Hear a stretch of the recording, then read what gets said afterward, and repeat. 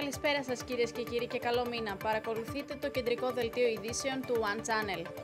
Ανακοινώθηκαν οι τρεις υποψηφιότητες για τους Δήμους Αθηναίων, Πειραιά και Θεσσαλονίκης που θα λάβουν τη στήριξη της Νέας Δημοκρατίας στις αυτοδιοικητικές εκλογές.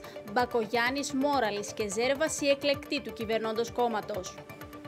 Συνάντηση με τον υποψήφιο Περιφερειάρχη Αττικής Νίκο Χαρδαλιά είχε σήμερα ο Κυριάκος Μητσοτάκης. Η συνάντηση κράτησε περίπου τρεις ώρες. Ο κύριος Χαρδαλιάς ανέπτυξε στον Πρωθυπουργό τις βασικές προτεραιότητες της υποψηφιότητάς του.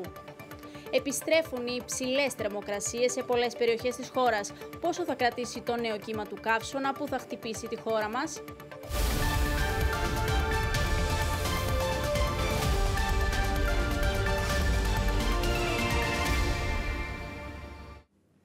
Κώστας Μπακογιάννης, Γιάννης Μόραλης και Κωνσταντίνο Ζέρβας είναι και επίσημα η εκλεκτή της Νέας Δημοκρατίας για τους τρεις μεγαλύτερους δήμους της χώρας. Ένα 24ωρο μετά την ανακοίνωση της υποψηφιότητας του Νίκου Χαρδαλιά με τη Νέα Δημοκρατία για την περιφέρεια Αττικής, το γραφείο τύπου του κόμματος εξέδωσε ανακοίνωση για τους δήμους Αθηναίων, Θεσσαλονίκης και Πυραιός, όπου αναφέρεται ότι με απόφαση του Πρωθυπουργού και Προέδρου της Νέας Δημοκρατίας Κυριάκου Μητσοτάκη ανακοινώνεται ότι η Νέα Δημοκρατία υποστηρίζει τις υποψηφιότητες του Κώστα Μπακογιάννη για τον Δήμο Αθηναίων, του Κωνσταντίνου Ζέρβα για τον Δήμο Θεσσαλονίκης και του Γιάννη Μόραλη για τον Δήμο Πειραιά. Την στρατηγική για τη συνέχιση της επικράτησης της Νέας Δημοκρατίας στην περιφέρεια Αττικής συζήτησαν στην τρίωρη συνάντησή τους στο Μέγαρο Μαξίμου ο Κυριάκος Μητσοτάκης και ο Νίκος Χαρδαλιάς που χθες έλαβε και επισήμως το χρήσμα του υποψηφίου. Την ίδια στιγμή την απόσυρσή του από την διεκδίκηση της θέσης και τη στήριξή του στον Νίκο Χαρδαλιά ανακοίνωσε ο Γιώργος Πατούλης. Πάντως στη Νέα Δημοκρατία δέχονται με ικανοποίηση τη στάση του νυν Περιφερειάρχη και την απόλυτη συμμόρφωσή του με την απόφαση του Πρωθυπουργού. Τον Νίκο Χαρδαλιά δόθηκε και επισήμως το γαλάζιο χρήσμα για την περιφέρεια Αττικής με απόφαση του Κυριάκου Μητσοτάκη. Ο Νίκος Χαρδαλιάς θα συναντηθεί με τον Πρωθυπουργό την Τρίτη στο Μέγαρο Μαξίμου. Μετά από συσκέψεις με συμβούλους και συνεργάτες, ο Γιώργος Πατούλης, λίγες ώρες μετά την απόσυρση του χρήσματος, ανακοίνωσε την απόφαση του να μην κατέβει στις επικείμενες αυτοδιοικητικές εκλογές. Αισθάνομαι περήφανος για το έργο που βρίσκεται σε εξέλιξη στην Αττική, το οποίο είναι αποτέλεσμα ενός σοβαρού σχεδιασμού και μιας εξαιρετικής ομαδικής προσπάθειας. Το έργο αυτό δεν πρέπει να μείνει στη μέση, γι' αυτό στις εκλογές του Οκτωβρίου θα στηρίξω την επιλογή του κόμματός μου, ευελπιστώντας ότι τα επόμενα χρόνια θα είναι και αυτά περίοδος δημιουργίας για την Αττική. Ο Πρωθυπουργός βρέθηκε στη Λέσβο για την παρουσίαση της υποψηφιότητας στο Αλκιβιάδη Στεφανή στο Βόρειο Αιγαίο, από όπου έστειλε μήνυμα και στους περιφερειάρχες που δεν στηρίζονται πλέον από τη Νέα Δημοκρατία. Θεωρώ τον ε, στρατηγό Αλκιβιάδη Στεφανή την καλύτερη υποψηφιότητα για να είναι ο επόμενος περιφερειάρχης Βορείου Αιγαίου. Θέλω να ε, ευχαριστήσω και εκείνους τους ε, ενεργεία περιφερειάρχες, τους οποίους το κόμμα επέλεξε τελικά να μην στηρίξει και να εξάρω την αξιοπρέπεια με την οποία αντιμετώπισαν ε, αυτήν την ε, κομματική επιλογή, δύσκολη ενδεχομένως για ε, αυτούς, αλλά είναι κάτι το οποίο θέλω να το τονίσω. Αν κάτι χρειάζεται σήμερα το Βόρειο Αιγαίο, είναι νέα δυναμική. Ένα σχέδιο που θα ενισχύσει την τοπική ανάπτυξη, θα φέρει επενδύσεις και θέσεις εργασίας και παράλληλα θα βελτιώσει την ποιότητα της ζωής των κατοίκων των νησιών μας. Το πεδίο των κομματικών επιλογών για την τοπική αυτοδιοίκηση και οι εξελίξεις με τις υποψηφιότητες των κομμάτων ανεβάζουν το πολιτικό θερμόμετρο. Πήρε την απόφαση ο Πρωθυπουργός ότι μια συγκεκριμένη συμπεριφορά ήταν λόγος προκειμένου να έρθει η στήριξη. Θεωρώ ότι είναι πολύ σημαντική και η στάση του Γιώργου του Πατούλη που όχι απλά αποσύρθηκε και στηρίζει τον Νίκο Χαρδαλιά. Καμία κυβέρνηση Μητσοτάκη δεν μπορεί να κρυφτεί πίσω από ένα ζεμπέκικο του Περιφερειάρχη ή από τις διακοπές του κ. Μηταράκη όταν τέσσερα χρόνια η ίδια κυβέρνηση Μητσοτάκη κάνει διακοπές. Προσχηματικές αντιδράσεις του Κυριάκου Μητσοτάκη και επικοινωνιακές.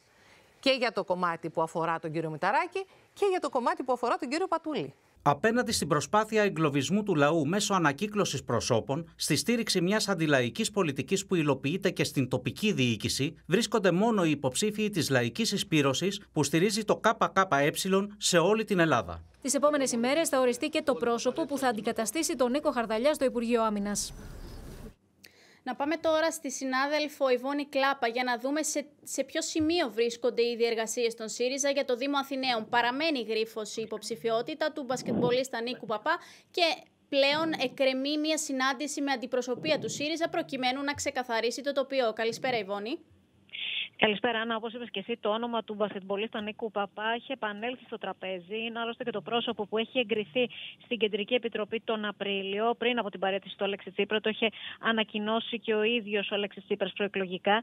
Ε, Τις προθέσεις του Νίκου Παπά αναμένεται τώρα να βολιδοσκοπήσουν σε συνάντηση που θα έχουν ε, εκτός απρόπτου αύριο Τετάρτη, κατά πάσα πιθανότητα το απόγευμα, μέλη της πολιτικής γραμματείας του ΣΥΡΙΖΑ, μεταξύ άλλων η Μάγκη Δούση, ο Πάνος Ρίγα, η Κατερίνα Κνήτου αλλά και ο Νίκος Φίλης ο Νίκος Παπάς ε, η πλευρά του κρατάει προς ώρας κλειστά τα χαρτιά του, ενώ την ίδια στιγμή στελέχη του, του, στο στρατόπεδο της αξιωματικής αντιπολίτευσης εξηγούν πως στόχος για αύριο είναι να διερευνηθεί το ενδεχόμενο να κατέβει ή όχι τελικά ο Νίκος Παπάς. Βέβαια στο τραπέζι υπάρχουν και τα, παραμένουν φυσικά και τα ονόματα του Κώστα Ζαχαριάδη, του Νίκου Φίλη, της Όλεγας Μπαλαούρα, αλλά και του εργατολόγου ε, Κώστα Τσουκαλά. Οπότε ε, αναμένουμε ενδεχομένως εξελίξεις αύριο σε αυτήν την συνάντηση αντιπροσωπείας της Κουμουδούρου με τον Νίκο Παπά. Μάλιστα, αναμένουμε να δούμε. Σε ευχαριστούμε πολύ, Ιβόνη. Πάμε τώρα να σχολιάσουμε την πολιτική επικαιρότητα έτσι όπως διαμορφώνεται με τον δημοσιογράφο, τον παραπολιτικό Λάμπρο Καλαρίτη. Ε, καλησπέρα, Λάμπρο. Έχουμε μπει στην τελική έχουμε μπει στην τελική ευθεία για τις αυτοδιοικητικές εκλογές, βλέπουμε ότι υπάρχουν πολλές διεργασίες τόσο στο εσωτερικό της Νέας Δημοκρατίας όσο και στο ΣΥΡΙΖΑ, κυρίως για το Δήμο Αθηναίων. Ε, είδαμε και τη συνάντηση χθες, ε, σήμερα, του Πρωθυπουργού Κυριάκου Μητσοτάκη με τον ε, νέο υποψήφιο για την περιφέρεια Αττικής. Α ξεκινήσουμε από εκεί να ακούσουμε και το δικό σου σχόλιο. Πώς προέκυψε αυτό το χρήσμα, να δούμε πίσω από αυτήν την ανακοίνωση. Λοιπόν, ε, η, καταρχήν η παρέτηση του κ. Πατούλη από τη διεκδίκηση της ε, περιφέρειας προφανώς διευκολύνει τη Νέα Δημοκρατία, διότι σε αντίθετη περίπτωση τα πράγματα καταλαβαίνουν ότι θα ήταν περίπλοκα. Θα υπήρχε ένας συμφίλιο που ενδεχομένως να έθετε σε κίνδυνο την εκλογική νίκη που επιδιώκει η Νέα Δημοκρατία στην περιφέρεια. Ο κ. Πατούλης προφανώς το αξιολόγησε. Δεν θέλεις σε καμία περίπτωση να χρεωθεί τυχόν απώλεια της περιφέρειας εξαιτίας του εξαιτίας της διπλής επιλογής. Οπότε έκανε το αυτονόητο, αποσύρθηκε. Εδώ να πούμε ότι υπάρχει ένα παρελθόν σε αυτήν την ιστορία. Ο κύριος Πατούλης στις προηγούμενες ε, αυτοδιοικητικές εκλογές είχε κατά κάποιο τρόπο επιβάλει την ε, υποψηφιότητά του στην περιφέρεια. Δεν είχε αποτελέσει εξ αρχής κομματική επιλογή. Είχε ανακοινώσει την ε, πρόθεσή του να κατέβει στο Δήμο Αθηνών, όπου υποψήφιο ήταν και ο κ. Μπακογιάννης, και στην ουσία αντάλλαξε την υποψηφιότητά του στο Δήμο Αθηνών με το Δήμο της Περιφέρειας. Δηλαδή, επέβαλε στην ουσία την, την υποψηφιότητά του. Η κάτι που προφανώς η Δημοκρατία το είχαν κρατήσει, το είχαν σημειώσει. Και με την πρώτη αφορμή ε, ε, ήρθε η στήριξη προς το, προς το πρόσωπο του κ. Πατούλη. Το, η υπόθεση με τον Ζεμπέκικο ήταν και αφορμή και αιτία. Έτσι. Δηλαδή ήταν και τα δύο μαζί. Υπήρχε μια, μια, ένα, μια προηγούμενη κατάσταση. Δόθηκε η ευκαιρία, κατά τη γνώμη μου, στην Νέα Δημοκρατία και στον κύριο Μητσοτάκη και ήρε την, την στήριξη επιλέγοντας να κατεβάσει τον, τον κύριο Χαρδαλιά ως την. Ε, επιλογή αυτή η οποία έχει τις περισσότερες πιθανότητες να συνεχίσει να ανανεώσει την, ε, την παρουσία της Νέας Δημοκρατίας στην ηγεσία της περιφέρειας. Μην ξεχνάμε ότι μπροστά μας υπάρχει στην ουσία ένας εκλογικός καθαρός μήνας. Αν βγάλουμε τον Αύγουστο που είναι ε, μήνας διακοπών και στην ουσία δεν μπορεί να γίνει προεκλογικός αγώνας τον Αύγουστο παρά μόνο προετοιμασίες ψηφοδελτίων και ας πούμε backstage δουλειά. Ο Σεπτέμβριος είναι καθαρός. 8 Οκτωβρίου έχουμε εκλογές. Άρα ο κ. Καρδαλιά τώρα καλείται να κάνει ένα εκλογικό αγώνα στην ουσία ενός μηνός έχει αυτοδιοικητική εμπειρία, ήταν επιτυχημένος δήμαρχος στον ε, Βύρονα, έχει ασχοληθεί με την πολιτική προστασία και τις πολιτικές κρίσεις. Το επόμενο διάστημα θα είναι ένα, τα επόμενα χρόνια αλλιώς θα, είναι ε, θα είναι χρόνια και περίοδος κρίσεων. Θα έχουμε πολλές κρίσεις και, και κλιματικές και διάφορες άλλες. Άρα εκτιμήθηκε ο κ. Καρδαλιά, επειδή έχει διαχειριστεί διαφόρων των κρίσεις, την, ε, την υγειονομική την πανδημία, τις φωτιές, πολιτική προστασία κλπ., συν την αυτοδιοικητική του εμπειρία, συν την αναγνωρισιμότητα που έχει, ε, ότι είναι το πρόσωπο το οποίο θα κάνει την ε, δουλειά στην περιφέρεια. Ε, Λάμπρο, βλέπουμε βέβαια ότι δέχθηκε αμέσως και την άρση της στήριξης ο κύριος Πατούλης, οπότε δεν δημιουργήθηκαν περαιτέρω προβλήματα. Τώρα να πάμε στο Δήμο Αθηναίων, όπου σήμερα έγινε και η ανακοίνωση της, του γραφείου τύπου του κυβερνώντος κόμματος της Νέας Δημοκρατίας ε, σχετικά με την στήριξη στους μεγαλύτερους δήμους της Ελλάδας, στο Δήμο Πυραιός για τον κύριο Μόραλη, στο Δήμο Αθηναίων τον κύριο Πακογιάννη και στον Δήμο Θεσσαλονίκη τη στήριξη της Νέας Δημοκρατίας προς το πρόσωπο του κυρίου ε, Ζέρβα. Ε, τώρα να πούμε, θέλω να μου πεις στο σχόλιο τις διεργασίες, γιατί βλέπουμε ότι στην αντίπερα όχθη, στον ΣΥΡΙΖΑ, υπάρχουν ακόμα, πέφτουν ονόματα στο τραπέζι, δεν είναι σίγουροι για τις υποψηφιότητες.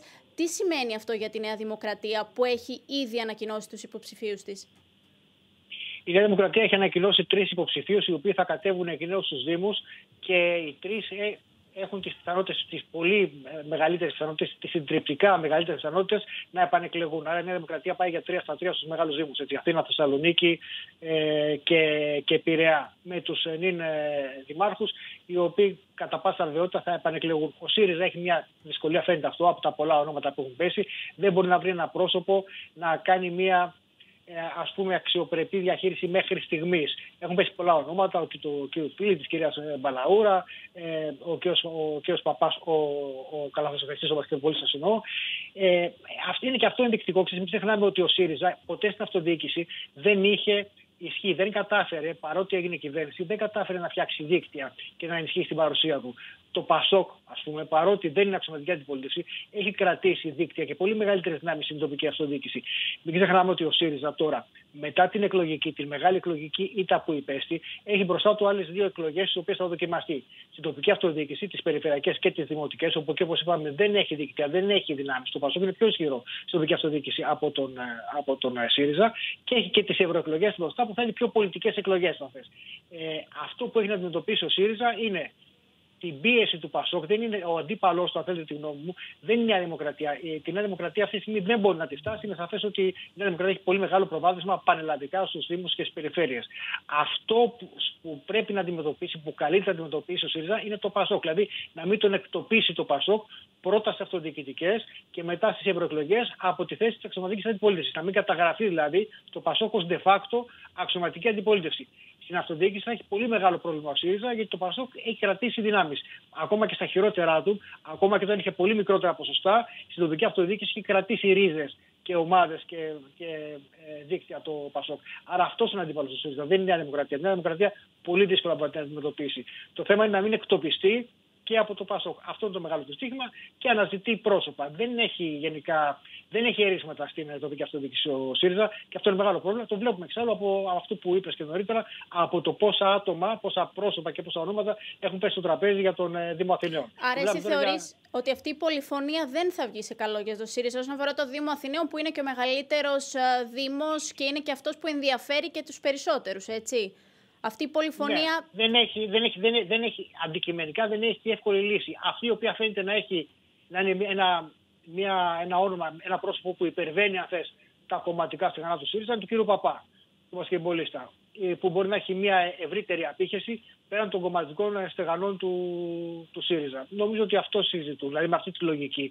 Αν κατέβει ένας στενά κομματικός, ε, ενδεχομένως να έχει πολύ μικρότερη απήχηση από ότι ένα πρόσωπο το οποίο ίσως μπορεί να απευθυνθεί σε μεγαλύτερες σε μεγαλύτερες δεξαμενές πέραν του ΣΥΡΙΖΑ, όπως ο κ. Παπαστόδημο να γίνει.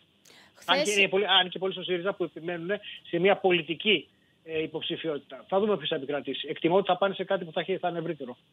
Ε, μάλιστα, κιόλας χθες ο κ. Μπακογιάννης ανακοίνωσε τους 351 υποψηφίους για το ψηφοδέλτιό του. Ε, βλέπουμε ότι υπάρχει και ισχυρό το στοιχείο του πολιτισμού, καθώς του πολιτισμού, του αθλητισμού, όπως το Κριστό Βαζέχα, πρώην ε, Υπουργός Πολιτισμού, ο κ. Γιατρομαλονολάκη, είναι μέσα σε αυτό.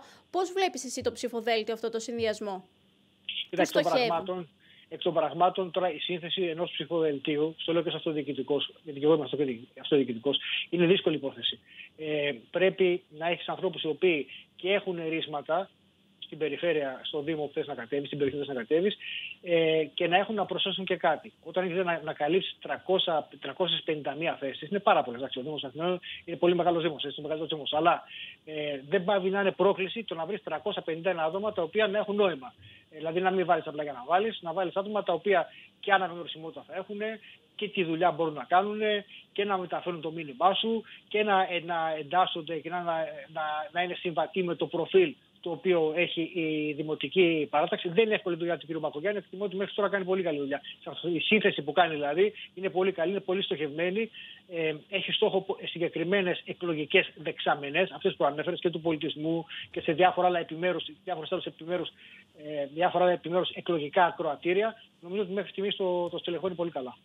Τώρα πριν κλείσουμε θέλω να μου κάνεις ένα σχόλιο όσον αφορά στον εμφύλιο που έχει προκύψει ε, στο κόμμα των Σπαρτιατών ε, καθώς ε, γνωρίζουμε ήδη από την προηγούμενη εβδομάδα έχει ανακοινώσει ότι θέλει να κατέβει υποψήφιος ο κύριος Κασιδιάρης, ο καταδικασμένος Ηλίας Κασιδιάρης. Από εκεί και έπειτα από έκτοτε δημιουργήθηκε έτσι ένα λαλούμ.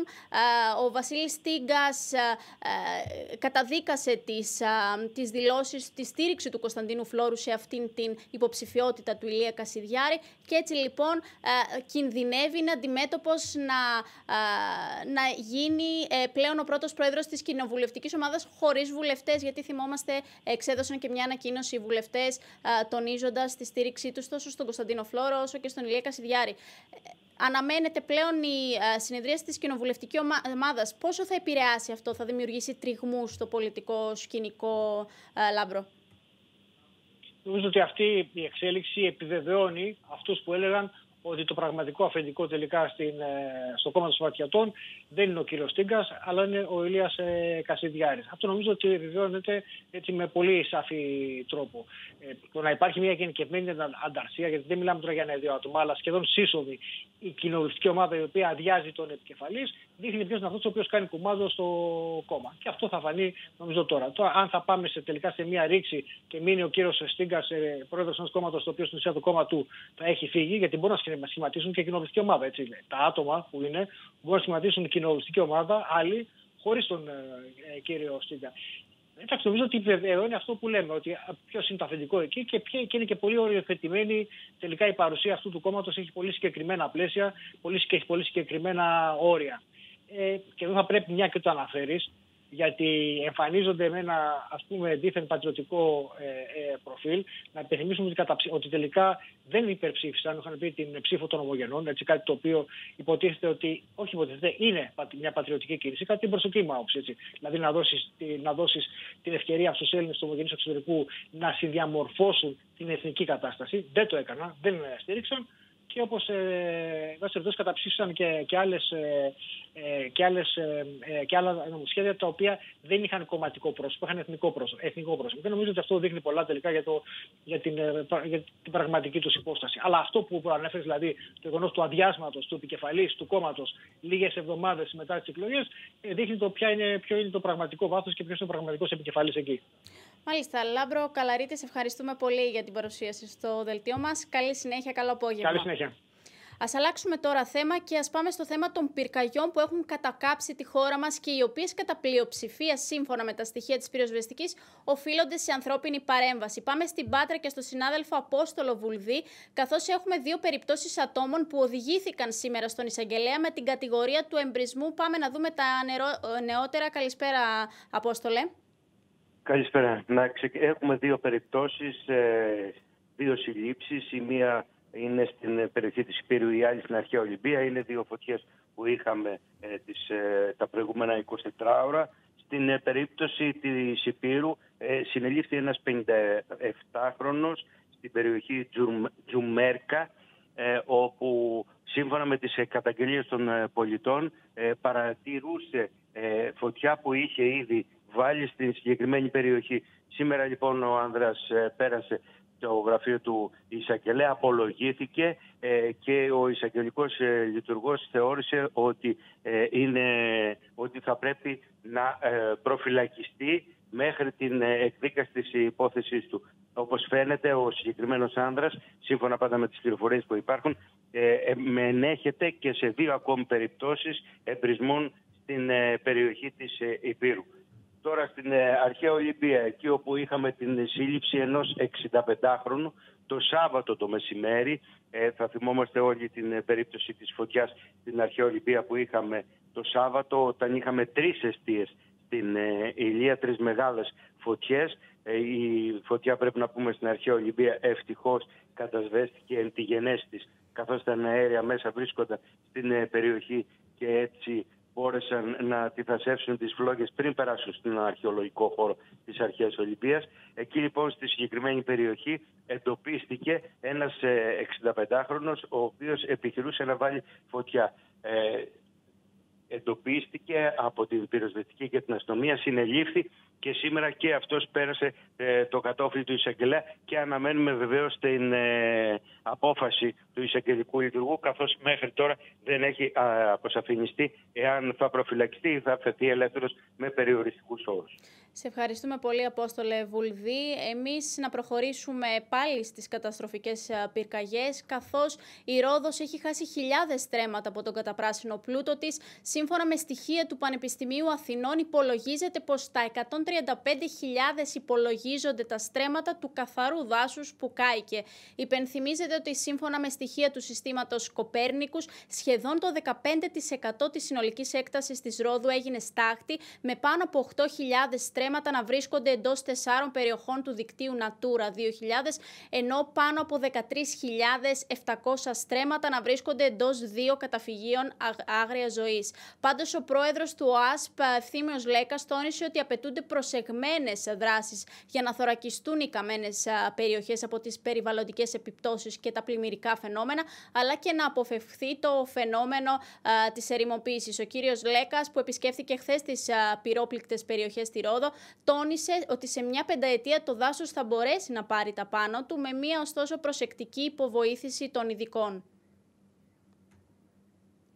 Την ίδια στιγμή, οι καταστροφικές πυρκαγιές στη Ρόδο δεν άφησαν το, αποτύπω, το αποτύπωμά τους συγγνώμη, μόνο στο περιβάλλον, αλλά και στον τουρισμό. Οι ξενοδόχοι έχουν υποστεί σοβαρές ζημιές στα τουριστικά τους καταλήμματα και δεν προλαβαίνουν να σώσουν τη σεζόν, ενώ δεν είναι λίγα τα πρακτορία από το εξωτερικό που έχουν μαζικές ακυρώσεις. Στη συνάντηση που είχε χθες στη Λευκοσία, ο πρόεδρος Νίκος Χριστοδουλίδης με τον Κυριάκο Μητσοτάκη ανακοίνωσε ότι η Κύπρος θα αναλάβει τα έξοδα για την αναδάσωση των περιοχών που κάηκαν. Οι εικόνες με τους δεκάδες χιλιάδες τουρίστες να εκενώνουν το νησί στην καρδιά του καλοκαιριού και τα ξενοδοχεία να κυκλώνονται από τις φλόγες οδήγησε σε πολλές ακυρώσεις στο νησί κορονίδα του ελληνικού τουρισμού. Για πρώτη φορά τα σοκάκια στο νότιο τμήμα της Ρόδου άδειασαν όπως και οι παραλίες.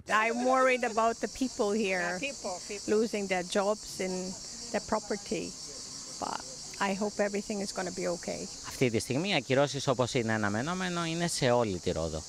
Και αυτό που πρέπει να τονίσουμε είναι ότι δεν είναι μόνο για τις αφήξεις των επόμενων ημερών, εκτείνεται ακόμα και σε αφήξεις του Σεπτεμβρίου, ε, ο οποίος παραδοσιακά είναι ένας πολύ δυνατός μήνας για το νησί μας. Όντως, ταξιδιώτες έβλεπαν ότι δεν μπορούν να πάνε στον προορισμό τον συγκεκριμένο που υπήρχε το ατυχές γεγονός και δεν θέλησαν να πάνε. Τα αεροπλάνα πήγαιναν και έφερναν τους πελάτες που επέστρεφαν στον προορισμό και δεν έφεραν ταξιδιώτη, άρα εκτός εάν δεχότανε, αντί να κοιμηθεί στην περιοχή που συνέβη το ατύχημα, να κοιμηθεί σε ένα άλλο σημείο της Ρόδου. Γιατί η Ρόδος είναι εκεί. Δεν χάθηκε η Ρόδος. Σύμφωνα με τα στοιχεία της ΤΟΥ, περίπου ένα στους πέντε επισκέπτες στη Ρόδο έχει πληγεί από τις φωτιές κατά τις ημέρες που οι φλόγες κατέκαιγαν το νησί. Υπολογίζεται μάλιστα ότι περίπου 65.000 τουρίστες είτε ακύρωσαν τις διακοπές τους είτε έφυγαν άρον-άρον από τη Ρόδο. Ο κόσμος που έφυγε ή ο κόσμος που ακύρωσε είναι περίπου στις 60 με 65.000 άτομα. Είναι λογικό όταν μετά από 11 ημέρες το νησί ήταν η πρώτη είδηση στα διεθνή μέσα για αυτό το πρόγραμμα που έχει γίνει.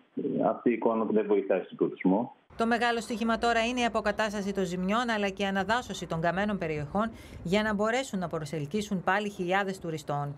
Η Κύπρος θα αναλάβει το κόστος αναδάσωσης των περιοχών που κάηκαν στη Ρόδο, ανακοίνωσε ο πρόεδρος της χώρας κατά τη συνάντηση που είχε με τον Κυριάκο Μητσοτάκη. Η Κυπριακή Δημοκρατία θα αναλάβει το κόστος αναδάσωσης των περιοχών που έχουν πληγεί από τις φωτιές στη Ρόδο.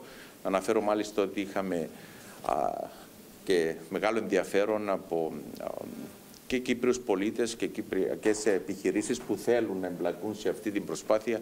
Άρα το ανακοινώνω σήμερα. Από χθες που δεν υπάρχουν φωτιές στη Ρόδο και πριν από τρεις μέρες στην Κέρκυρα, το γεγονός έχει ξεχαστεί οριστικά, αλλά εάν κάποιο σημείο που είχε ένα, δύο ή τρία ή πέντε ξενοδοχεία, το σημείο που αντί να βλέπεις πράσινο δάσος, βλέπεις ένα μαύρο λόφο, αυτό υπάρχει τεχνικό θέμα. Οι περισσότερες ακυρώσεις στη Ρόδο είναι από τους Βρετανούς τουρίστες. Αντίθετα, οι Σκανδιναβοί δεν φαίνεται να επηρεάστηκαν από τα όσα τραγικά συνέβησαν στο νησί των Υποτών και συνεχίζουν να του δίνουν ψήφο εμπιστοσύνης.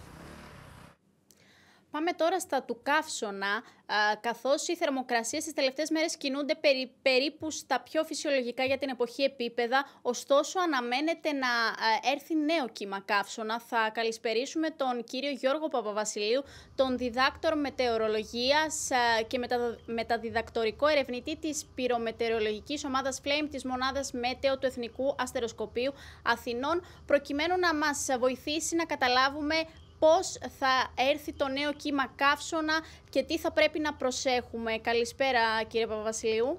Καλησπέρα σας. Ε, να τονίσουμε ότι δεν μπορούμε με σιγουριά αυτή τη στιγμή να μιλήσουμε για ένα επεισόδιο καύσωνα, μιας και οι περιοχές οι οποίες θα βρεθούν με αρκετά υψηλές θερμοκρασίες είναι συγκριτικά μικρότερες από αυτές που απαιτούνται ουσιαστικά για να χαρακτηρίσουμε το επεισόδιο ως καύσωνα για τη χώρα μας. Ωστόσο, αυτό δεν σημαίνει ότι οι θερμοκρασίες δεν θα είναι υψηλές κατά τόπους.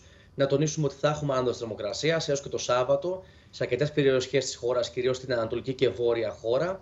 Τοπικά θα ξεπεράσουμε τους 39 βαθμούς Κελσίου. Ε, στη Θεσσαλία, τοπικά στην Ανατολική Στερεά και στη Βόρεια Ελλάδα, ίσως δούμε τοπικά και 40 και 41 βαθμούς Κελσίου. Και από εκεί και πέρα από την Κυριακή αναμένουμε σταδιακή πτώση της θερμοκρασίας και πάλι σε πιο φυσιολογικά για την εποχή επίπεδα.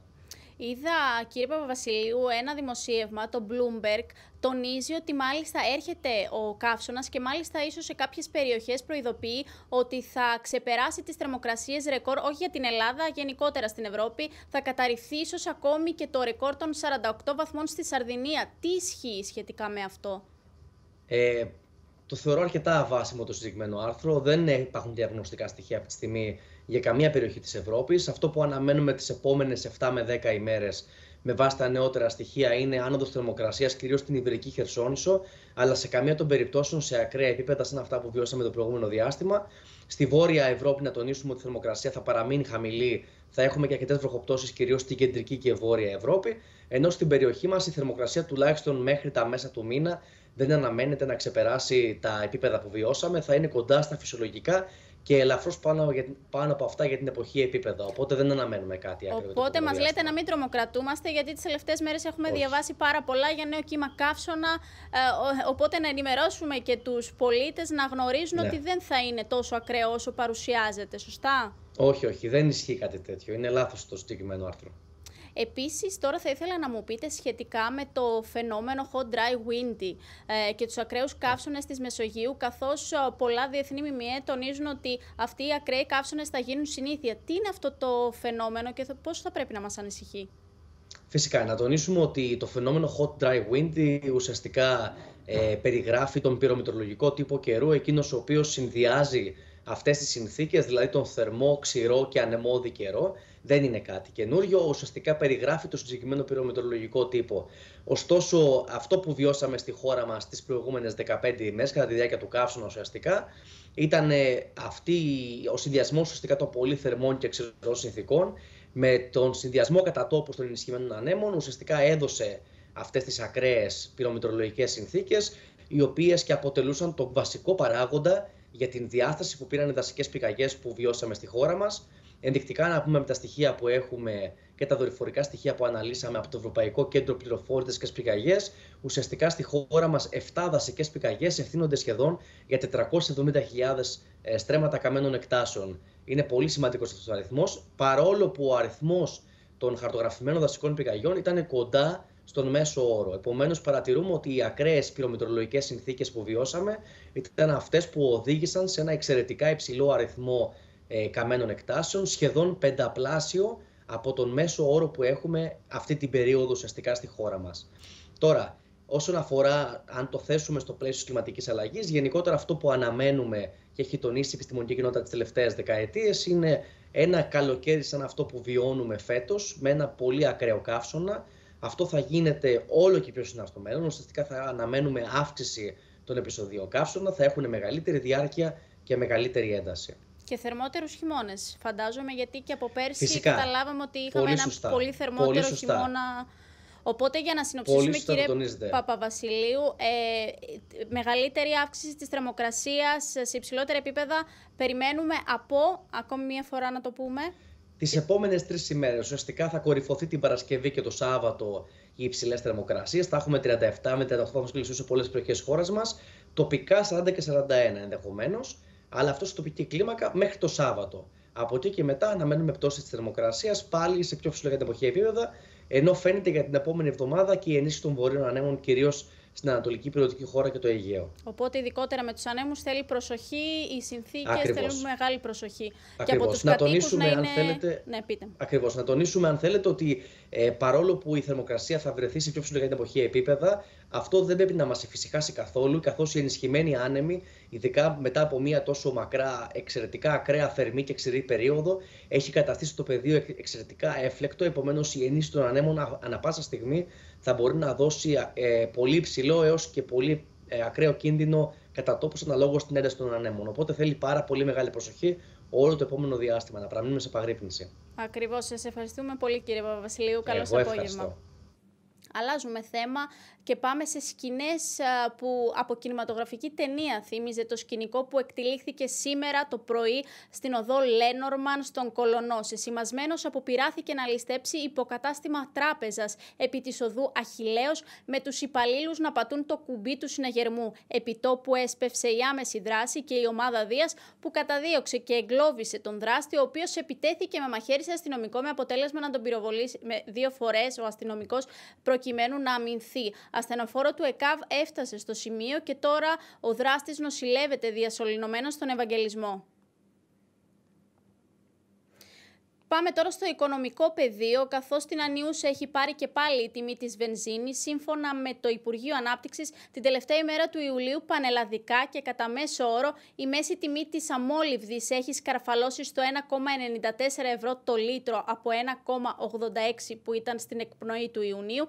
Οι παράγοντες τώρα της αγοράς προεξοφλούν νέες αυξήσεις μέσα στην εβδομάδα, καθώς εξαντλούνται τα φθηνότερα αποθέματα και δεν είναι λίγοι αυτοί που προβλέπουν τον 11-15 Αύγουστο, τον 15 Αύγουστο συγγνώμη, να υπάρχει κορύφωση της εξόδου των εκδρομέων με τιμές στα 2 ευρώ. Ήδη στην ισιωτική χώρα η τιμή της αμόλυβδης βενζίνης έχει σπάσει το φράγμα των 2 ευρώ, ενώ ενδεικτικό είναι το παράδειγμα ότι στη Μήλο φτάνει τα 2,40 ευρώ το λίτρο.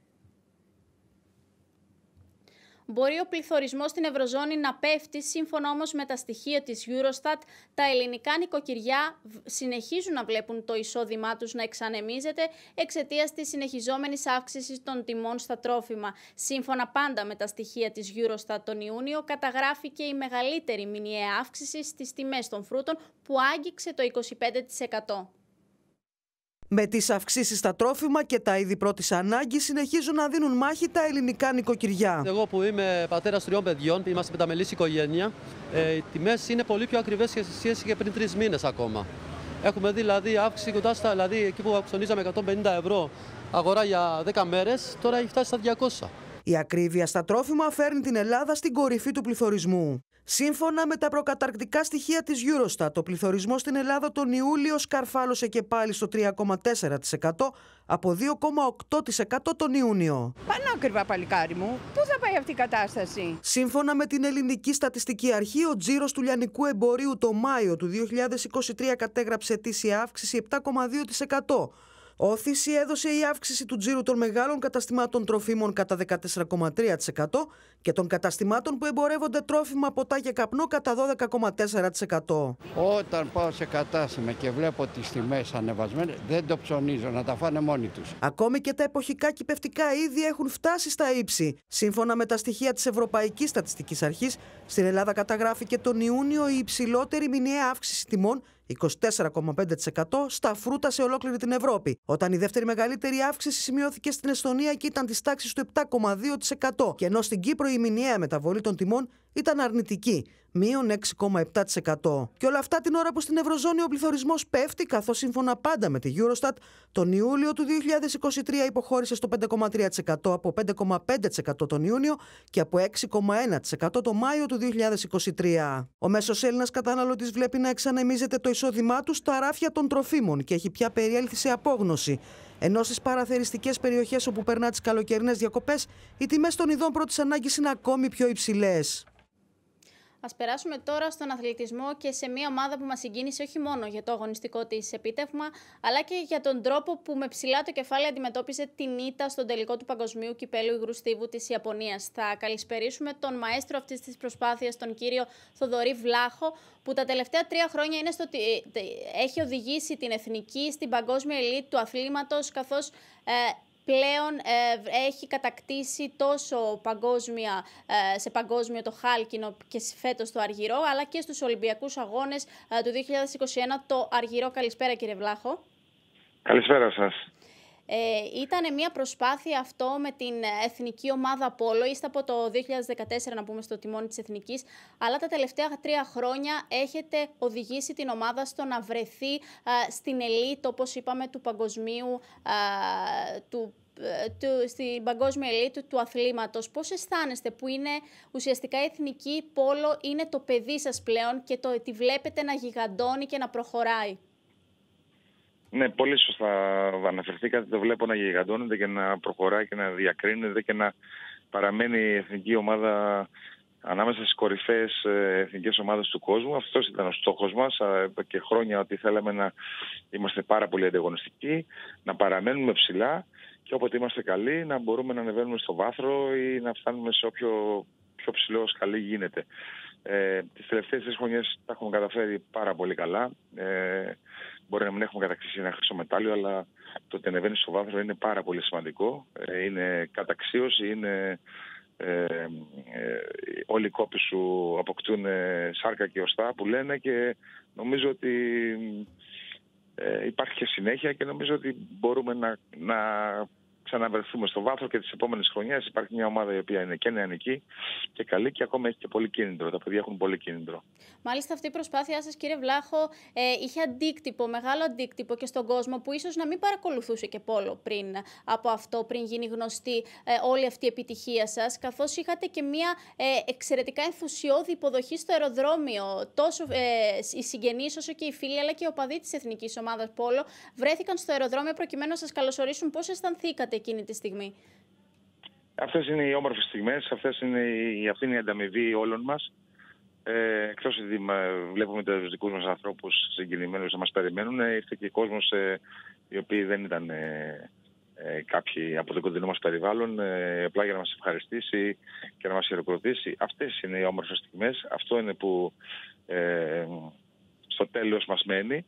Ε, και θέλω να σας πω ότι η, η αγάπη του κόσμου γίνεται όλο και πιο έτσι, γιγαντώνεται. Πολλοί κόσμος πλέον ε, είδε το, την προσπάθειά μας ε, τα τελευταία τρία χρόνια και φέτος ακόμα πιο πολύ. Το καταλαβαίνουμε αυτά τις αντιδράσεις καθημερινά. Ε, μας γνωρίζουν πλέον και νομίζω έχουν δει ότι η προσπάθειά μας είναι πράγματι πολύ μεγάλη. Ε, και σε άλλα αθλήματα γίνεται μεγάλη προσπάθεια, αλλά βλέπουν ότι υπάρχει και ταλέντο και υπάρχει και αποτέλεσμα. Ότι ε, εμείς οι ίδιοι ε, μας αρέσει να κάνουμε την Ελλάδα να τη φέρνουμε σε διακρίσεις. Ε, νιώθουμε ότι είναι χρέος μας και όλο αυτό, όλο αυτό είναι ένα ένα έτσι κομμάτι, ένα project που θέλουμε να το συνεχίσουμε. Κύριε Βλάχος, ωστόσο και η αγάπη δική σας φαίνεται ότι είναι τεράστια τόσο προς τους παίκτες σας όσο και προς την εθνική ομάδα ως σύνολο, καθώς οι δηλώσεις σας μετά το τέλος του τελικού απέναντι στην Ουγγαρία ήταν συγκλονιστικές, καθώς προσπαθήσατε εσείς να πάρετε το βάρος της ήττας στις πλάτες σας. Όπως γνωρίζουμε η ομάδα είναι ομάδα καθώς τόσο η ήττα όσο και η νίκη είναι κάτι συνολικό. Όμως εσείς προσπαθήσατε να προστατέψετε του τους πάντες και αυτό ήταν το πιο συγκλονιστικό. Εκείνη τη στιγμή το σκεφτήκατε, πώς σας ήρθε, ε, ε ήταν, πώς ήταν, το συνέστημά σας εκείνη τη στιγμή; Οι στιγμές μετά το τέλος του τελικού και τα πέναλτι που πανηγυρίσαν οι, οι Ούγγροι ε, ήταν δύσκολες για μας. Ε, συναισθηματικά ήμασταν πολύ φορτισμένοι. Ε, θέλαμε μια άλλη κατάληξη, θέλαμε εμείς να πανηγυρίσουμε έξαλα. Ε, δεν είναι εύκολες στιγμές αυτές. Ε, αν και ήδη νιώθαμε πετυχημένοι και πράγματι με μια μεγάλη επιτυχία που ήδη είχαμε κρεμάσει το μετάλλιο στο στήθος μας, στο Αργυρό, το Ασημένιο. Όμως ε, θέλαμε κάτι άλλο. Ε, ήταν πολύ συναισθηματικά, ήμασταν πολύ φορτισμένοι και ε, σίγουρα ό,τι επακολούθησε ήταν μόνο αυθόρμητο και χωρίς να υπάρχει κάποια, κάποιος σχεδιασμός πριν. Ε, όσον αφορά όλο αυτό με το το τι ήθελα να κάνω και το τι έκανα, νομίζω ότι είναι χρέος του προπονητή να βγει μπροστά σε μια δύσκολη στιγμή. Ε, με παίχτες οι οποίοι του έχουν χαρίσει, μου έχουν χαρίσει στο παρελθόν ε, και μεγάλες νίκες αλλά και διακρίσεις. Λάθη γίνονται από όλους και εγώ έκανα πρώτος λάθος και ήθελα να, με αυτό το λάθος να ε, βγω μπροστά και να απαλύνω λίγο την, ε, κάποιους παίχτες που θα θεωρούσαν τους αυτούς τους λίγο ένοχους για την ήττα. Νομίζω ότι αυτή είναι ό,τι καλύτερο μπορούσε να γίνει γιατί η συνέχεια είναι μεγάλη. Με αυτούς τους παίχτες θα πορευτούμε και στη συνέχεια και θέλουμε να, μεταξύ μας να είμαστε, να έχουμε μια πολύ ειλικρινή σχέση και πάντα με σεβασμό. Η συνέχεια είναι μεγάλη, όπως είπατε, καθώς το 2024 είναι μια γεμάτη χρονιά. Έρχεται το Παγκόσμιο στην Τόχα, το Ευρωπαϊκό Πρωτάθλημα και οι Ολυμπιακοί Αγώνες στο Παρίσι. Έχετε μια νεανική ομάδα, όπως έχετε πει και εσείς, και τον έμπειρο φουντουλάκι που όλοι τον γνωρίζουν. Σκοπεύετε να ανοίξετε την πόρτα και σε νεότερα παιδιά, να γίνει ακόμη πιο νεανική αυτή η ομάδα, ή θα πορευτείτε τουλάχιστον για του χρόνου με τους διεθνείς που ήδη έχετε καλέσει; Ήδη φέτος και την προηγούμενη χρονιά άνοιξε η πόρτα για αρκετά νέα παιδιά. Η ομάδα είναι πολύ νεανική. Ε, στο Παγκόσμιο Πρωτάθλημα αυτό ήρθαν δύο παιδιά, ο Γκίλας και ο Χαλιβόπουλος που είναι 18 χρονών. Ε, ε, ο, αγωνιστήκαν και οι δύο σε αρκετά παιχνίδια. Ο Γκίλες αγωνίστηκε και στον τελικό και στον ημιτελικό. Ε, η πόρτα είναι πάντα ανοιχτή σε παιδιά τα οποία νέα θέλουν να να κλέψουν τη θέση από κάποιον πιο έμπειρο με το ταλέντο τους και με το πείσμα τους και με, την, με τον ενθουσιασμό τους.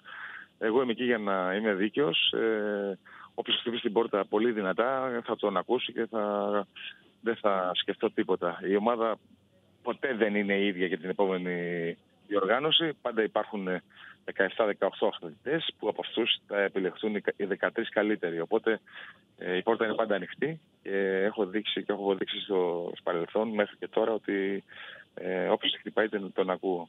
Πολύ σημαντικό και ελπιδοφόρο αυτό που λέτε. Και πριν κλείσουμε, κύριε Βλάχο, θα ήθελα να σας ρωτήσω, γιατί πέρα από τη χαρά των μεταλλίων, της επιτυχίας, τα χαμόγελα, το πόλο τουλάχιστον στα μάτια του κόσμου όσον αφορά στην Ελλάδα δεν έχει την ίδια αντιμετώπιση με το ποδόσφαιρο. Υπάρχουν αντικσότητες που συναντάς στο σύνολό του το άθλημα, καθώς για παράδειγμα πολλοί αθλητές σε ατομικά αθλήματα παίρνουν κάποιο μετάλλιο και μετά γνωστοποιούν ότι δεν είχαν κάποια στήριξη. Στο πόλο ποιες είναι οι ανάγκες; Εντάξει, εμείς είχαμε την απόλυτη στήριξη της Ομοσπονδίας ε, σε ό,τι ζητήσαμε, σε ό,τι σχεδιάσαμε για την προετοιμασία και αυτή της χρονιάς. Ε, δεν υπάρχει κάποιο, να, κάποιο παράπονο. Ε, ένα μόνιμο παράπονο που έχουμε σαν ε, άθλημα είναι ότι ε, στην Ελλάδα είναι λίγες οι πισίνες, ε, θα μπορούσαμε να έχουμε πιο πολλά κολυβητήρια και ένα παράπονο είναι ότι η εθνική ομάδα ψάχνει να βρει κολυβητήριο για να προετοιμαστεί. Ε, ξέρουμε ότι δεν είναι τόσο εύκολο να χτιστούν κολυβητήρια και να γίνουν πιο πολλά, αλλά πιστεύω ότι με αυτή όλη την πορεία που έχουμε και ε, με το ότι ο κόσμος πλέον μας αγκαλιάζει πιο πολύ, πιστεύω ότι θα γίνουν και άλλα πράγματα και από την πλευρά της πολιτείας. Εγώ πάντα είμαι αισιόδοξος, δεν θέλω να ε, είμαι ε, ούτε μαύρο ούτε άσπρο. Θέλω να, να προσπαθούμε όλοι και με βήματα αργά αλλά σταθερά να μπορούμε να βελτιώσουμε την κατάσταση. Κύριε Βλάχο, εμείς σας ευχόμαστε ότι καλύτερο και να συνεχίσει ακόμη πιο δυνατή ομάδα και να μας δώσει και το πολυπόθητο χρυσό και ό,τι άλλο εσείς επιθυμείτε, γιατί βλέπετε αυτά τα παιδιά συνέχεια να προσπαθούν όπως και εσείς ο ίδιος. Ε, καλό σας υπόλοιπο, ελπίζω να ξεκουραστείτε. Ε, καλό σας απόγευμα. Σας ευχαριστώ πάρα πολύ για τη φιλοξενία. Έχει ξεκούραση τώρα και θα δούμε από το Σεπτέμβριο μετά τον προγραμματισμό για την επόμενη χρονιά. Καλή σας ξεκούραση, λοιπόν. Γεια σας την απώλεια επαφής με το διαστημόπλιο Voyager 2 εξαιτίας τεχνικού λάθους ανακοίνωσε η Αμερικανική Διαστημική Υπηρεσία NASA. Το διαστημικό σκάφος που ξεκίνησε το ταξίδι εξερεύνησης του διαστήματος το 1977 βρίσκεται δισεκατομμύρια χιλιόμετρα μακριά από τη Γη. Εάν δεν λάβουν σήμα του Voyager 2 τις επόμενες ημέρες, οι ειδικοί θα πρέπει να περιμένουν μέχρι τον Οκτώβριο όταν θα γίνει αυτόματη επαναφορά του συστήματος επικοινωνιών. Σιγεία σειρμάτου επικρατεί στη NASA μετά την απώλεια κάθε επαφής με το διαστημόπλιο Voyager 2 που βρίσκεται 19 δισεκατομμύρια χιλιόμετρα μακριά από τη Γη. Η επικοινωνία με το μη επανδρομένο διαστημικό σκάφος χάθηκε όταν πριν από μία εβδομάδα οι ελεγκτές πτήσεις έδωσαν λάθος εντολή που έστρεψε την κεραία του μακριά από τον πλανήτη μας. Η κεραία μετατοπίστηκε μόλις κατά 2%, όμως αυτό ήταν αρκετό ώστε να χαθεί κάθε επικοινωνία. Η Αμερικανική Διαστημική Υπηρεσία ανακοίνωσε ότι η τεράστια κεραία της στην πρωτεύουσα της Αυστραλίας Καμπέρα βρίσκεται σε επιφυλακή για τυχόν σήματα από το Voyager 2. Από την απόσταση που βρίσκεται, χρειάζονται περισσότερες από 18 ώρες για να φτάσει ένα σήμα του στη Γη. 3, 2, 1. We have ignition and we have liftoff. Το Voyager 2 εκτοξεύθηκε στις 20 Αυγούστου του 1977 από το ακροτήριο Κανάβεραλ στη Φλόριντα των Ηνωμένων Πολιτειών. Μαζί με το δίδυμο διαστημόπλιο Voyager 1 μελέτησαν το ηλιακό σύστημα και τους απομακρυσμένους πλανήτες Δία, Κρόνο, Ουρανό και Ποσειδώνα και έχουν συγκεντρώσει τεράστιο όγκο πληροφοριών. Εάν η επαφή με το διαστημόπλιο δεν αποκατασταθεί τις επόμενες ημέρες, κανένα σήμα του Voyager 2 δεν θα μπορέσει να φτάσει στη Γη πριν από τον Οκτώβριο, όταν αναμένεται να γίνει αυτόματη επαναφορά των συστημάτων επικοινωνίας. Τώρα πάμε στο θέμα της οδικής ασφάλειας, καθώς πρέπει να κατανοήσουμε ότι ένα όχημα είναι χρήσιμο και απαραίτητο εργαλείο, αλλά ε, μπορεί να γίνει, να αποβεί επικίνδυνο και μοιραίο. Ε, υπενθυμίζουμε ότι πριν από λίγες ημέρες, μία 37χρονη στην Κατερίνα παθρακώθηκε όταν η μηχανή του γιοταχή τη έπιασε φωτιά, ενώ παρόμοιο περιστατικό σημειώθηκε στον Άλυμο χθες. Ωστόσο, ευτυχώς ο οδηγός πρόλαβε ε, να βγει από το όχημά του. Πάμε να συνομιλήσουμε με το Σύμβουλο Οδικής Ασφάλειας Χρήστο Γιανούκα, προκειμένου να μας δώσει κάποιες κατευθύνσεις για το πώς θα προνοούμε για την ασφάλειά μας στην άσφαλτο. Κύριε Γιανούκα, οι δύο αυτές περιπτώσεις που προανέφερα δεν οφείλουν οφείλονται σε ανθρώπινο παράγοντα. Ωστόσο, τι πρέπει να κάνουν οι οδηγοί ώστε να μην φτάσει ένα όχημα να υποστεί μια τέτοια ζημιά, απειλώντας την ανθρώπινη ζωή; Καλησπέρα, κυρία Νικολάου. Καλησπέρα στους ε, τηλεθεατές σας. Ε, καταρχάς να πούμε ότι ο δρόμος γενικότερα δεν προσαρμόζεται σε εμάς, αλλά εμείς σε αυτόν. Και σε όλα όσα χρειάζεται να κάνουμε για να κινούμαστε στον δρόμο με ασφάλεια. Άρα πρέπει να ανέβουμε επίπεδο διανοητικά και να αποκτήσουμε τη λογική επιτέλους της αποτροπής του τροχαίου συμβάντος. Στο θέμα που μόλις ρωτήσατε, να πούμε κάτι πάρα πολύ απλό για να το καταλάβει και ο κόσμος. Όπως ο οργανισμός μας θα μας προδώσει αν δεν τον φροντίσουμε, έτσι και το αυτοκίνητο θα μας προδώσει κάποια στιγμή ενώ κινούμαστε στο δρόμο. Τι έχουμε, παλαιά και κακοσυντηρημένα αυτοκίνητα που, που στις υψηλές θερμοκρασίες που έχουμε τώρα ο κίνδυνος υπερθέρμανσης πολλαπλασιάζεται. Τι πρέπει να κάνουμε; Πρέπει ανατακτά χρονικά διαστήματα να ελέγχουμε τη λειτουργία του οχήματός μας, να ελέγχουμε τα ελαστικά, να αλλάζουμε τα ελαστικά, να ελέγχουμε τα υγρά του λαδιού του κινητήρα, να έχουμε βιβλίο service και να πηγαίνουμε όταν πρέπει, να μην βγαίνουμε με μια κινητή βόμβα στο δρόμο. Επίσης, δεν μπορούμε να μεταφέρουμε έφλεκτα υλικά μαζί μας. Επίσης, πρέπει να μάθουμε γιατί έχουμε αυτό τον υποχρεωτικό εξοπλισμό μαζί μας. Και αν τον έχουμε, και αν υπάρχει, εάν υπάρχει ο πυροσβεστήρας, πώς χρησιμοποιείται, έχει λήξει; Έχουμε το κουτί πρώτων βοηθειών; Έχουμε ανανεωμένα τα ελάχιστα υποχρεωτικά υλικά που πρέπει να φέρουμε; Άρα, όπως καταλαβαίνετε, είναι ένα πολυπαραγωγικό ζήτημα όλο αυτό, όπου χρειάζεται κάποια στιγμή να μπορέσουμε, καθώς βρισκόμαστε ε, στην τελευταία θέση στην Ευρωπαϊκή Ένωση σε νέα οχήματα, να μπορέσουμε με κάποιο τρόπο με τη βοήθεια της πολιτείας ε, να έχουμε νέα οχήματα και τα παλαιά οχήματα να ελέγχονται πιο συχνά. Ξέρετε το ότι ένα όχημα είναι παλαιό δεν σημαίνει ότι ο οδηγός του δεν είναι ευσυνείδητος και δεν πρέπει να το ελέγχει. Έχουμε φτάσει σε σημείο να ακούμε καταστάσεις φοβερές, ε, θα αλλάξω φρένα μετά το ταξίδι. Ε, Συνεχώς το αναβάλουν, ακριβώς. Αυτό ακριβώς. Ε, αυτό ονομάζεται οδική απαιδεία, κατά τη γνώμη μου, γιατί έτσι είμαστε εν δυνάμει δολοφόνοι, αλλά ταυτόχρονα εν δυνάμει αυτοκτονούντες. Ακριβώς. Οπότε πρέπει να ελέγχουμε συχνά το όχημά μας και να μάθουμε και πέντε βασικά πράγματα για το όχημά μας. να μπορούμε να ελέγξουμε δύο-τρία πραγματάκια και μόνοι. Τώρα, κύριε Γιαννούκα. Να... Ναι. Ολοκληρώστε, ολοκληρώστε. Ε, πείτε μου, πείτε μου.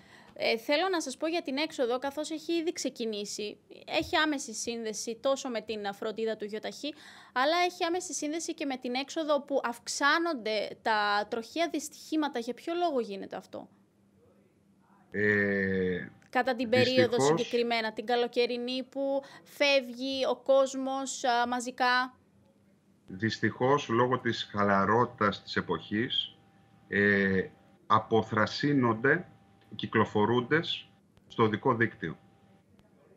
Έλληνες και ξένοι. Βλέπουμε σε τουριστικά μέρη αυτή τη χαλαρότητα ε, το να ε, πίνουν, να καταναλώνουν αλκοόλ, να οδηγούν ε, ταυτόχρονα selfie, ταυτόχρονα ε, όχι κράνη στα μηχανάκια, να οδηγούμε με παντόφλες ε, ή στην Αθήνα που δεν υπάρχει κίνηση να έχουμε ε, αυξανόμενες ε, ταχύτητες. Αυτό έχει ως αποτέλεσμα να έχουμε πολλά περισσότερα τροχαία συμβάντα, τροχαία δυστυχήματα. Η πρώτη αιτία θανάτου για τους νέους 16 έως 24 είναι τα τροχαία συμβάντα, τα οποία είναι πολλά περισσότερα τους καλοκαιρινούς μήνες για τους λόγους που σας είπα. Η χαλαρότητα αποθρασύνει και αυτό έχει ως αποτέλεσμα να έχουμε μία συνεχή τύφλωση απροσεξίας από τους οδηγούς, δηλαδή να μην μπορούν να αντιληφθούν ένα γεγονός διότι ασχολούνται με πολλά άλλα γεγονότα, πού θα πάνε, πού θα βγούνε, πάμε διακοπές επιτέλους, ε, ας βγάλουμε μια φωτογραφία τη στιγμή που οδηγούμε, δεν τηρούν τον κώδικα οδικής κυκλοφορίας, αλκοόλ και οδήγηση, ένας θανατηφόρος συνδυασμός που πρέπει επιτέλους να σταματήσει. Και όλο αυτό έχει ως αποτέλεσμα να έχουμε περισσότερα τροχέα. Κύριε Γιαννούκα, ξέρετε τι ήθελα να σας ρωτήσω. Ε, καθώς πριν από λίγες μέρες είχαμε ένα δυστύχημα στο Αγκίστρι, αν μπορέσετε να μου πείτε σχετικά. Ε, μία 20χρονη πήρε το ηλεκτρονικό ποδήλατο ε, και ε, βρήκε τραγικό θάνατο γιατί προσέκρουσε σε βράχο πόσο ασφαλές. Θυμόμαστε, ε, να σας πω, και το περιστατικό στην Καβάλα που ανήλικοι πήραν το ηλεκτρονικό πατίνι τους, παραβίασαν το stop ε, και από θαύμα δεν είχαμε κάποιο θύμα. Πόσο ασφαλές είναι αν, ε, και αν θα έπρεπε να υπάρχει κάποιο δίπλωμα όσον αφορά τα ηλεκτρονικά μέσα. Θα μπορούν να, μπορούν να τα παίρνουν ανήλικοι ή μικροί σε ηλικία που δεν έχουν κάποιο δίπλωμα; Όταν στερούμαστε κατανόησης της λειτουργίας του οδικού δικτύου, είναι ανα, αναμενόμενο να συμβαίνουν ε, τέτοια, τέτοια τραγικά γεγονότα. Υπάρχουν κάποιοι βασικοί κανόνες για ηλεκτρικό πατίνι. Ε, εάν η μέγιστη ταχύτητα είναι μέχρι 6 χιλιόμετρα, θεωρούνται και κυκλοφορούν ως πεζοί και επιτρέπεται η οδήγησή τους από 12 και πάνω. Και 6 έως 25 χιλιόμετρα θεωρούνται ποδήλατα και κυκλοφορούν ως ποδήλατα και η οδήγηση επιτρέπεται από 15 ετών και πάνω. Όμως, ένα παιδί 15 χρονών, ποια γνώση της κυκλοφορίας, ποια γνώση του συνεχόμενος ε, μεταβαλλόμενου οδικού δικτύου έχει. Δεν γνωρίζει τις πινακίδες. Εδώ δεν γνωρίζουμε καλά-καλά να κινούμαστε ως πεζοί. Βλέπετε πόσα γίνονται με πεζούς. Δεν υπάρχει μάθημα κυκλοφοριακής αγωγής στα σχολεία. Οι γονείς αγοράζουν ηλεκτρικά ε, πατίνια, τα δίνουν στα παιδιά τους, καίρονται τα παιδιά τους και τα αφήνουν τα παιδιά τους στο δρόμο χωρίς να έχουν τις ελάχιστες έστω βασικές γνώσεις. Ναι, βέβαια, επιβάλλεται μία πιστοποίηση για έναν ε, οδηγό ε, ηλεκτρικού πατινιού. Είναι όχημα και ο αναβάτης είναι οδηγός. Πρέπει να γνωρίζει τον κώδικα οδικής κυκλοφορίας και επικαιροποίηση γνώσεων σε εμάς τους μεγαλύτερους. Αλλάζει συνέχεια το δικό δίκτυο και πρέπει συνέχεια να αποκτάμε γνώσεις. Πιστοποίηση λοιπόν για τους οδηγούς στα ηλεκτρικά πατίνια. Πώς θα βγουν στο δρόμο αν δεν γνωρίζουν πώς λειτουργεί ο δρόμος, αν δεν γνωρίζουν τις πινακίδες, αν δεν αναλύουν μία διασταύρωση σωστά, αν δεν λαμβάνουν μέρημνα για τους πιθανούς κινδύνους. Ακριβώς, οπότε προσοχή και εφιστούμε την προσοχή και στους γονείς κυρίως, γιατί με ηλεκτρονικά μέσα κινούνται κυρίως τα πιο ε, νεαρής ηλικίας άτομα. Κύριε Γιαννούκα, σας ευχαριστούμε πάρα πολύ για την παρουσία σας στο δελτίο μας. Καλό σας απόγευμα. Σας ευχαριστώ. Καλό απόγευμα. Εμείς πάμε σε ένα σύντομο διαφημιστικό διάλειμμα και επιστρέφουμε. Ανάσα στους πολίτες ε, της Θεσσαλονίκης θα δώσει η διάνοιξη της οδού Αγίου Δημητρίου. Το έργο που ήταν έτοιμα των κατοίκων εδώ και δεκαετίες υλοποιήθηκε και δόθηκε στην κυκλοφορία. Ένα έργο που αποτελούσε έτοιμα των Θεσσαλονικιών εδώ και δεκαετίες. Η διάνοιξη της Αγίου Δημητρίου στο τμήμα της από την Κατσιμίδη μέχρι την οδό Μήλου μεταξύ Τριανδρίας και Τούμπας είναι πλέον πραγματικότητα. Το έργο θα δώσει άμεσα ανάσες στην κυκλοφορία των οχημάτων της πόλης. Φροντίσαμε έτσι ώστε να παλωτριωθεί, να κατεδαφιστεί, να σχεδιαστεί, να χρηματοδοτηθεί και να αναλάβει ο ανάδοχος έτσι ώστε να γίνει η διάνοιξη επιτέλους Αγίου Δημητρίου. Από τη μία πλευρά διευκολύνεται η κίνηση στο πλαίσιο μιας συνολικής προσέγγισης στο κυκλοφοριακό πρόβλημα της πόλης και από την άλλη όλη η περιοχή αναβαθμίζεται με σειρά παρεμβάσεων. Χαίρομαι πάρα πολύ που ένα έργο το οποίο ξαγγείλαμε, το οποίο οραματιστήκαμε, ήδη έχει δοθεί στην κυκλοφορία στο Θεσσαλονίκη στους επισκέπτες της πόλης. Να συγχαρώ όλους όσους εργάστηκαν γι' αυτό σε χρόνους ρεκόρ για τα ελληνικά δεδομένα. Η διάνοιξη της Αγίου Δημητρίου αποτελεί μια κομβική κυκλοφοριακή παρέμβαση που προσφέρει κυκλοφοριακές ανάσες σε όλη την πόλη, αλλά και μια γρήγορη έξοδο προς τον περιφερειακό. Ένας ε, δυσεπίλητος γρίφος εδώ στη διάνοιξη Αγίου Δημητρίου, ένα έργο που κάθε αυτοδιοικητική παράταξη τα τελευταία 30 χρόνια το είχε στο πρόγραμμά της, λύθηκε στη διοίκηση Κωνσταντίνου Ζέρβα απολατριώθηκε, κατεδαφίστηκε, μελετήθηκε, έγινε διαγωνιστική δικασία και ήδη ολοκληρώνεται η υλοποίηση. Στο πλαίσιο του έργου, μεταξύ άλλων, διαμορφώνονται άνετο πεζοδρόμιο με οδηγό για άτομα με προβλήματα όρασης. Κατασκευάζονται ράμπες για άτομα με αναπηρίες, τοποθετείται φωτισμός LED, δημιουργείται ποδηλατόδρομος και γίνονται φυτεύσει δέντρων. Αλλάζουμε σελίδα και πάμε στη μάχη που θα δώσει σε λίγη ώρα στις 8.30 ο Παναθηναϊκός στη Λεωφόρο, όπου υποδέχεται την Τνίπρο με στόχο την πρόκριση στον τρίτο προκριματικό γύρο του Champions League. Την ίδια στιγμή στον Ολυμπιακό, ο δανεισμός του Κέννετι δεν προχώρησε, αφού ο Βραζιλιάνος Εκστρέμ δεν πέρασε τα ιατρικά τεστ. Επτά χρόνια φαγούρα στην Ευρώπη λαμβάνουν εκτός συγκλονιστικού απρόπτου τέλος για τον Παναθηναϊκό. Οι πράσινοι με παρακαταθήκη το υπέρ τους 3-1 υποδέχονται απόψε στις 8.30 στο γήπεδο της Λεωφόρου την Νύπρο και με πρόκριση εξασφαλίζουν συμμετοχή στους ομίλους του Europa League παρά και την παρουσία τους στην Ευρώπη ως το τέλος του 2023. Ενώ παράλληλα διατηρούν ζωντανό το όνειρο της παρουσίας στους ομίλους του Champions League. Με τον Ιβάν Γιοβάνοβιτ να μην σκέφτεται τη Μαρσέη, αλλά μόνο την πρόκριση με τους Ουκρανούς. Πρέπει να είμαστε πολύ ταπεινοί και πρέπει να είμαστε πολύ συγκεντρωμένοι γιατί είναι αρχή σεζόν. Ε, είναι σημαντικό το παιχνίδι. Ε, θα πρέπει να παρουσιάσουμε την ε, πιο καλή εικόνα που μπορούμε να παρουσιάσουμε αυτή τη στιγμή. Αγωνία στην άκρη για τον τραυματισμό του Ντομαγκό Ιβίντα. Οι Κροάτες αποκάλυψαν πως ο συμπατριώτης τους έχει υποστεί διάταξη του τετρακέφαλο, ότι θα χάσει το πρώτο παιχνίδι των προκριματικών του Champions League με αντίπαλο την Δυναμό Ζάγκρεπ και πως δίνει μάχη για τον επαναληπτικό. Ο Ρασβάν Λουτσέσκο αποφάσισε να ταξιδέψει από σήμερα ο Πάοκ στην Ιερουσαλήμ, ώστε οι παίχτε του να προσαρμοστούν καλύτερα στην αποπνητική ζέστη και την υγρασία που θα συναντήσουν στο παιχνίδι με την Πεϊτάρ. Το επαναληπτικό του 0-0 της Τούμπας. Μοναδικό πρόβλημα για τον δικέφαλο η απουσία του τραυματίας Άστρε. Ο Ολυμπιακός αποφάσισε να μην επισημοποιήσει το δανεισμό του Βραζιλιάνου εξτρέμ Ρόμπερτ Κέννεντι. Ο παίχτη δεν μπόρεσε να περάσει με επιτυχία τα ιατρικά τεστ, με τον Αντώνιο Κορδόν να βρίσκεται ήδη στην αγορά για την απόκτηση εξτρέμ και επιθετικού πρώτης γραμμής για τους Ερυθρόλευκους.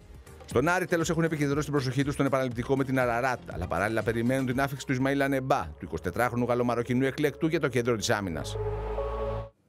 Το χρυσό μετάλλιο κατέκτησε ο Αντώνης Τσαπατάκης στο Παγκόσμιο Πρωτάθλημα Παρακολύμβησης. Ο Έλληνας πρωταθλητής αγωνίστηκε στα 100 μέτρα πρόστιο στη διοργάνωση που γίνεται στο Μάτσεστερ και πήρε την πρώτη θέση με χρόνο 1 ώρα 39 λεπτά και 53 δευτερόλεπτα. Αυτό είναι το πρώτο μετάλλιο για την Ελλάδα στο 11ο Παγκόσμιο Πρωτάθλημα Παρακολύμβησης. Αρχικά είχε κερδίσει μετάλλιο και ο Γιάννης Κωστάκης στα 50 μέτρα, μέτρα πρόστιο, αλλά ο Μεξικανός Σάντσες κέρδισε την ένσταση κατά της ακύρωσής του με αποτέλεσμα ο Κωστάκης να πέσει στην τέταρτη θέση.